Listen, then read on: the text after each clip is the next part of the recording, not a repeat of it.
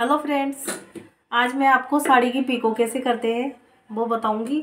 ये पीको की मशीन है और इससे आपको साड़ी पीको करके बताऊँगी कि सही तरीके से साड़ी पीको कैसे होती है।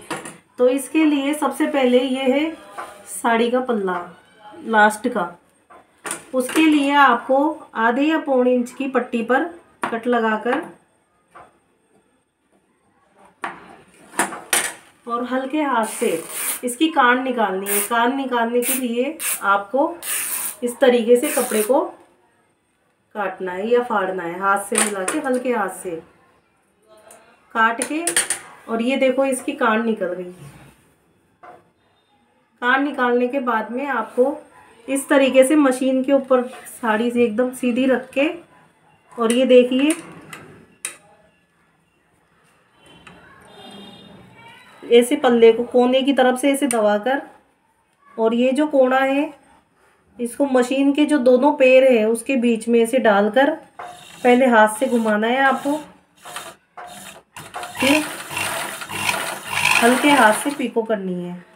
आपको कपड़ा इस तरीके से पकड़ना है। एक हाथ आपका ऐसे रहना चाहिए और एक हाथ ऐसे ये देखिए।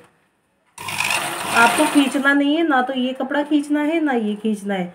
बस आपको दोनों हाथ ऐसे लगाने हैं और ऐसे पीको करनी है। ये देखिए फिनिशिंग के साथ पीको आएगी।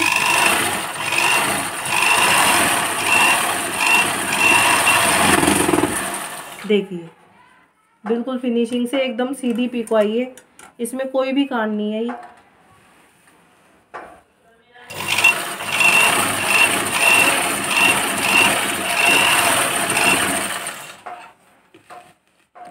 ये ध्यान रखना है आपको कि इसके अंदर कपड़ा ज़्यादा नहीं जाना चाहिए और ना ही कम।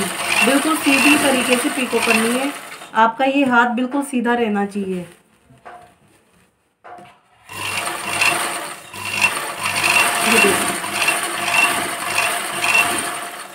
बिल्कुल फिनिशिंग के साथ पिको आएगी और बिल्कुल सीधी होएगी। बहुत से साड़ियों में जैसे नहीं जानते हैं तो इसमें कान आने की वजह से साड़ी का पल्ला बिल्कुल लंबा हो जाता है। उसकी वजह से फिनिशिंग नहीं आती।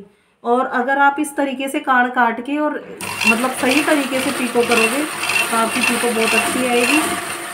वो देखिए।